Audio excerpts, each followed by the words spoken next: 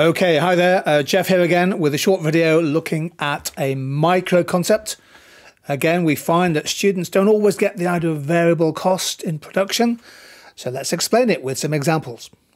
So, what are variable costs? Well, they are costs that are the operating costs of a business that relate directly, although not necessarily proportionally, to the production or sale of a product. So if a business is increasing its short run production, increasing the level of output or Q, that will normally cause total variable cost to rise. And uh, average variable cost is the total variable cost divided by the level of output. Now, variable cost, crucially, is determined by the marginal cost of extra units of output as more variable units are hired.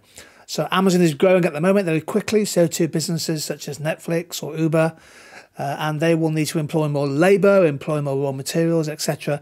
Their variable costs will go up. When an airline decides to uh, to launch a new route, and fly from A to B and there and back, that's adding to its output of goods and services. It will need to incur more variable costs. So, what are some good examples of variable cost? Well, things like commission bonuses uh, you pay people more when output rises, often used in things like advertising and sales. Uh, some wage costs are variable costs. For example, the cost of employing part time uh, temporary staff will be counted as a variable cost. Often uh, those costs are seasonal, so the retail sector might employ more, employ more people uh, at Christmas or Easter. Uh, the tourism sectors and leisure uh, businesses might employ, employ more people in, in the summer, for example. Component parts, clearly a variable cost, since the more you produce, the greater will be the, the amount you need to buy of those things. Uh, basic raw materials, wood and steel and copper and aluminium. If you're producing something, manufacturing a product, you'll add to your variable costs because you have to buy in more raw materials. Of course, the more you buy, it may be the case that you can lower the price you pay, but the total variable cost will go up. And for many businesses, the cost of energy, electricity and gas, the cost of fuel is a really crucial variable cost. And so too things like packaging costs. So uh, maybe a small business that is selling things online, if it's successful, they're selling more goods and services, selling more product, that will increase their packaging costs. These are all good examples of variable costs. Now, just briefly, why are variable costs important?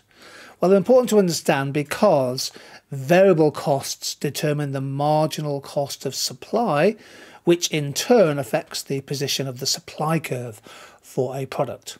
So, if energy and raw material prices go up, if variable costs increase, that will cause an inward shift of supply, other factors remaining the same. Whereas if, for example, the cost of employing part-time wages, uh, labour goes down, that will cause a fall in variable costs and uh, an outward shift of supply. One key area to revise is the shutdown condition.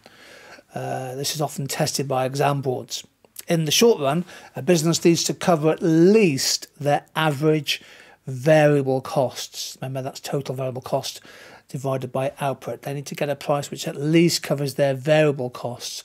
If the price falls below that, that might take them below the shutdown point. So, key points variable costs determine marginal costs, variable and fixed cost together make up total cost. But crucially, changes in fixed cost have no effect on marginal cost. It's only changes in variable cost that do that. Another point to bear in mind, finally, is that variable costs are often volatile, often unpredictable.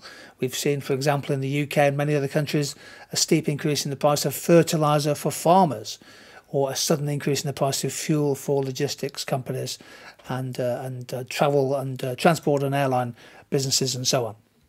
So there we go, a quick revision video explaining variable costs.